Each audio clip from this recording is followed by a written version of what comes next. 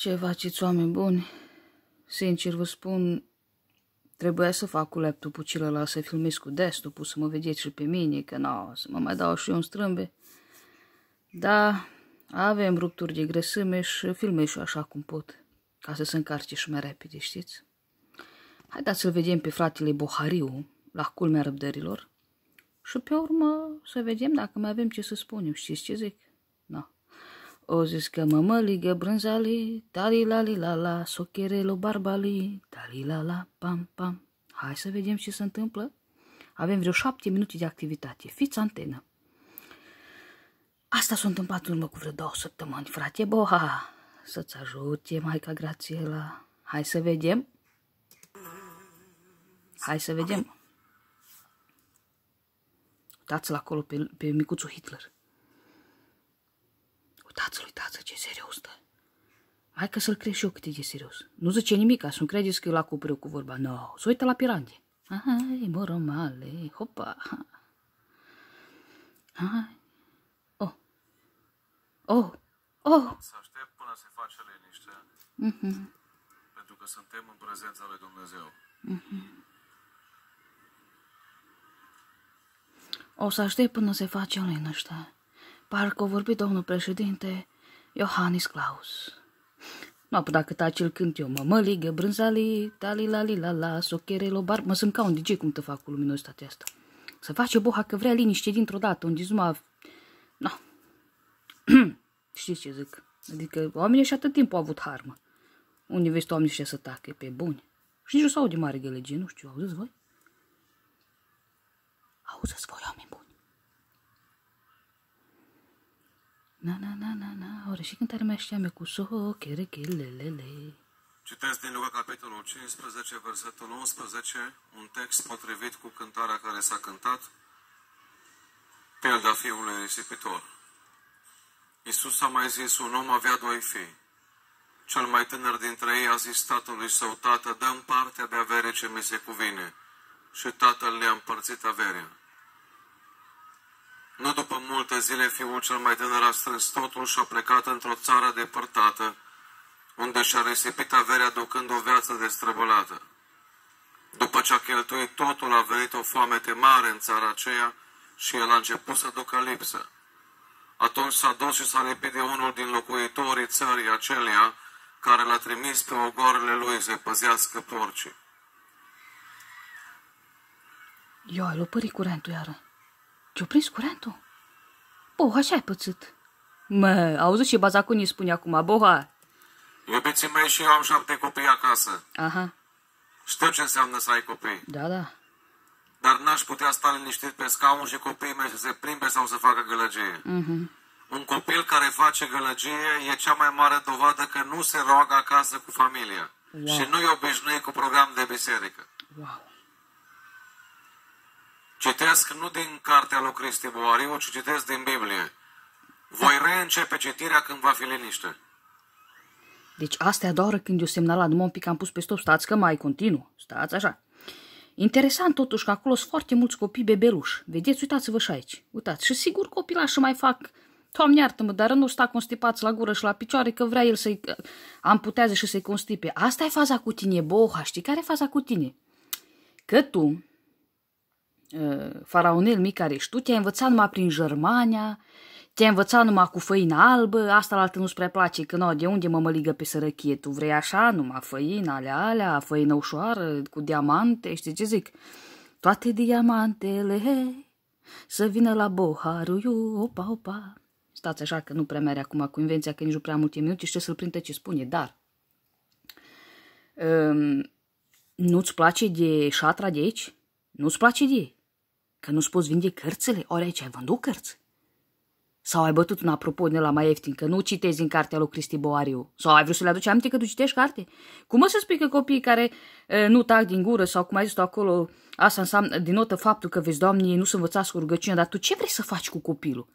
Nu cumva data viitoare când te duci la, nu știu, conferințe din astea sau cum le spui tu, evangelizări, nu cumva vrei să te aștept eu cu un camion cu niște piroane, cruci și chiar ciocane și să răstignești copiii, să le capsezi gura, știi și capsatorul ăsta cum folosesc bărbații când capsează colțarele alea, știi? când dau schimul. Așa se zice în Irlanda. În România nu știu cum e.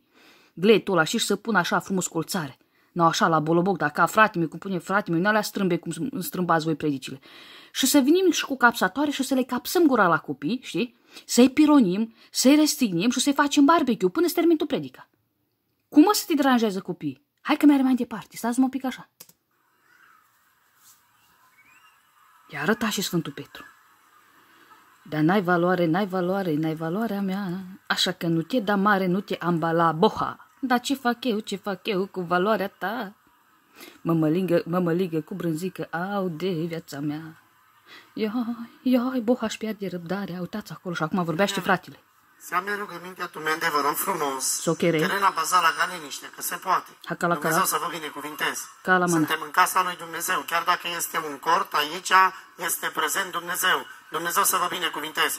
De asemenea, am rugămintea toți frații care s-au ocupat și se ocupă de ordine. Haideți să intrăm cu toții aici în sectorul acesta, în așa fel încât ca să fie cât mai multă liniște în cort. Dumnezeu să vă binecuvinteze. Da, socherele mai beșale, tu ce zici, frate, acolo să vină oamenii de ordine să ce, să ai copii, să arunce pe nu voi, măi boha. Nu voi încurajați la naștere de copii. Nu voi. Păi suportați acolo. Auzi că și eu am șapte copii acasă și știu ce înseamnă că ai, să ai copii. Păi tu știi ce înseamnă, dar tu știi ce înseamnă să-i crești? Să stai cu ei tot timpul?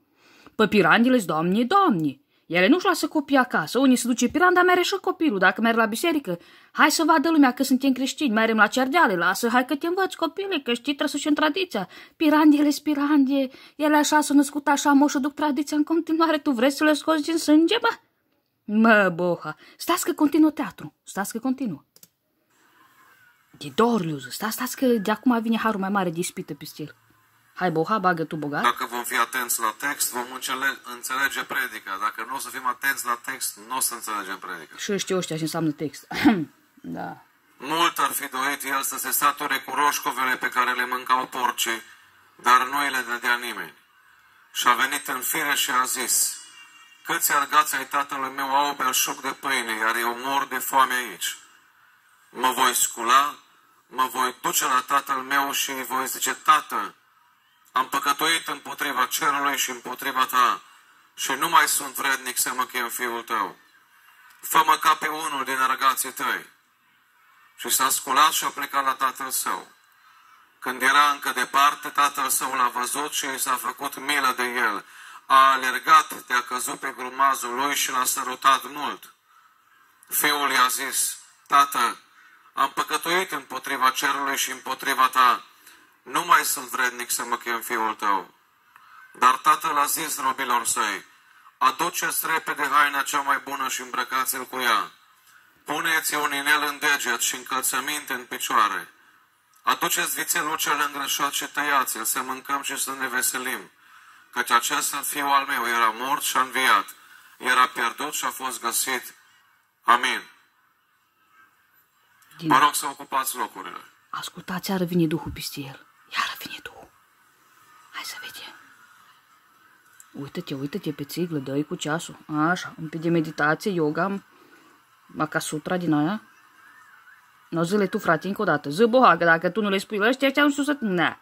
Hai, hai, hai, numai repede, ceartă, că asta stă în vene.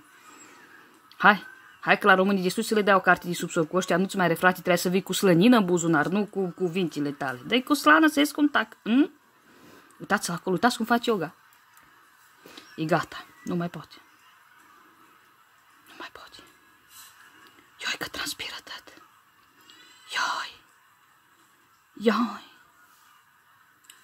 Iubiții mei, pentru mine este a 16-a predică luna aceasta Mhm. și aș renunța bucuros și v-aș da microfonul la oricare să predicați în locul meu. Mhm. Credeți-mă. Este a treia oară când vă rog frumos să nu mai vorbim. Mă, A obraznicol. patra oară voi urca în mașină și voi pleca acasă. Dacă te lasă ăștia, vezi, Pentru vezi. că suntem în prezența lui Dumnezeu. Mhm. Nu o să fac concurență cu nimeni în seara asta, o să cedez microfonul la oricine, sunt bucuros să renunț la predică. Însă între noi aici sunt prieteni care au nevoie să audă glasul lui Dumnezeu. Dacă fiecare părinte se ridică și merge și își ia copilul sau stă cu copilul lui care face gălăgie, cred că se rezolvă marea problemă. Ia ce privire de Hitler, Dumnezeule, sau Stalin, nici nu știi care. Nu, nu mai poate, bă, uitați, nu, nu are, nu, nu, nu mere. Vorbiți-le voi, socardeale mai beșale, nu se poate, frate. Uite, acum cred că încearcă să se zică din spate. Hai, bă, că dăm un kil de jumara, hai că dăm și de cartofi. Stai, bă, nu te duce, da, da, da. Nu, cum să te duci, boha. Mm. Ah, iai, și-ai transpirat. Asta e viața grea. Nu ne-ți vinzi tu cărțile și e bani așa. Nu râde, mă. Nu râde, și și de hilinzit, bohă. Vrăjător de oz de bancarești. Stați că am uși revine. Stați, că cred că eu zis să din spate de miști. Valorile pe care noi le avem în viață determină deciziile pe care noi le luăm. Gata, atât a fost spectacolul. Păi stați un pic așa. Vii tu o boha și ne spui. Cine mă urmărește știe destul de bine. Vii tu, Boha, și ne spui nouă că mai de mult creștinii erau încarcerați, creștinii stăteau în pușcărie, răbdau atâta suferință și totuși nu s-o lepăda de Dumnezeu și cât o îndurat și au fost blânzi și atitudinea lor. Și tu ce faci aici, man? Tu ce faci aici? Odată le-ai spus, nu s-a putut, asta e. Că până la urma urmei, ai știu că te duci la pirandie. Ai știu că te duci la pirandie Măcar acolo să se miște șale, ca acasă cine știe cât li se mișcă plomble dintr-o parte în alta. Știi ce zic? Nu? Poate ele strigau după ajutor și tu nu te-ai prins. Nu tot voi predicați în fața învoanilor că cică să nu cârtiți și să nu murmurați când faceți vea Domnului? Pă tu ce faci, mă? Mă, tu ce faci? Tu-ți permiți? Au să încă să le șubați apropo. Copii care nu stau cu minți sau liniștiți înseamnă că nu s-au obișnuiți cu rugăciunea acasă pe bune. Pe bune că tu lești copilul de calorifea și tătă ziua. Da, e ok să-l crești în frică de Dumnezeu dacă tu crezi așa ca și crești, no problem. Dar tu te auzi ce baza cu scoți pe gură? Cum poți să fii așa, mă, omule? Că așa și pe a predică. Îți dai seama dacă aveai tu, în Vechiul Testament, de te dus tu cu poporul care a rătăcit prin pustie 40 de ani, pă tu îți dai seama că tu ajungeai numai singur la destinație. Îi tăiai, tranșai pe tăți și făceai barbecue. V-am zis odată tăceți. V-am zis ador. A trei oră? E ultima dată că de nu a patru oră, în furculiță și scobitoare vă pun. Păi dacă tu, public, ai avut tupeu să vorbești așa față de oamenii ăia, eu eram în locul lor, mă ridicam eu și plecam, cu atâtea figuri de ale tale, deci că tu ești Beyoncé, Jennifer Lopez, ah, pușcă în forme de VIP. Cum să nu, că v-ați învățat după starurile astea internaționale, că doar vă duceți prin America, prin aveți relații. Vă duceți prin, prin la Europa, vă duceți călătoriți internațional. Și când veniți la niște varză murată, știi, niște cureci cu mămălingă și cu brânză, nu vă mai convine, mă. Nu vă mai convine. Eu de eram în locul oamenilor ăștia, mă ridicam și plecam și te lăsam acolo cu figurile tale. Tu trebuia să te concentrezi, să predici și oricum. Nu era gălăgea așa mare, într-adevăr. Nu, no, să mai aud acolo copii. Dar asta e viața. Voi încurajați nașterea de copii, dați-le pace la copii să trăiască liber pe pământ. Dacă la copil vine să se scarpine că nu știu la mătrici, să scarpine de mătrici. Care e problema ta? Mai că n-ai spus, vezi și cu respiratul, așa, știi, mai cu gramul, nu prea mult că eu deja mă topesc. Auzi tu că el știi ce înseamnă copii, că și el are șapte copii, mai ești bărbați, mă. Îs o grămadă de bărbați care gigi-gigi și femeia să crească copii. Nu înseamnă că dacă ești conștient că ai, nu înseamnă că ești și crești. Că și eu am avut, așa zis un tată, care au avut 12 copii și vai și amar ce-au făcut cu noi. Și el știa care are 12, știi ce zic? Da, asta nu înseamnă că ne-o și crescut. Vezi ce înseamnă, boha, să fii numai dus prin delegații, cu mes întinsă, scaune aranjate, frumos, că nu prea ești tu obișnuit cu copii, nu copiii cu rugăciunea. Tu nu ești obișnuit cu gălăgia tu. Că tu dacă ai sta mai mult pe acasă, că acum deja mă bag un pic așa mai privat, tu dacă ai sta mai mult pe acasă și n-ai mințat atâta oamenii pe la cu cărțile tale, timpanele tale ar fi mai dospite, da? Și ar fi mai obișnuite cu audiența asta, așa, de copii și minori și așa mai departe, și ai suporta. Dar tu pentru că mai tot timpul ești dus în delegații și când vii acasă soția rapide, și copii, și că doarme tati? Normal că dacă auzi, pac, te șirită. Tu nu ești obișnuit cu copii, nu copiii cu rugăciune. Nu ți rușine, Boha, să faci observație copiilor. Ca ce chestie, mă? Ca ce chestie? Și ce vrei să fac mamele? Să stai acolo cu ei în brațe, cu copiii mari, mici, cu toți? Tu ce vrei până la urmă, mă? Eram în locul lor, mâncam jumer și locul unu numai... Cum era, mă? Locul 1, numai 1, sunt mereu pe locul 1, nu dau un pas înapoi, nici dacă vrea Boha să facă tăițe cu noi. Auzi, Boha, hai, trebuia să știu un lucru. pe poporul ăsta, Hindia Chicken Masala, ăsta, poporul ăsta nostru, drag și simpatic, da, pe vinitile astea noastre, n-ai cum să le schimbi tu, că nu s-au schimbat ei. N-ai cum să schimbi tu, te duci, suporți, predi și gata. Nu cârti și nu murmura pe calea Domnului, nu ridica tonul, franzeluța albă, nu ridica tonul, boha, nu ridica că te trece Domnul prin cuptor. Mai stai pe acasă și obișnuiește cu, cu, cu gălăgea de copii.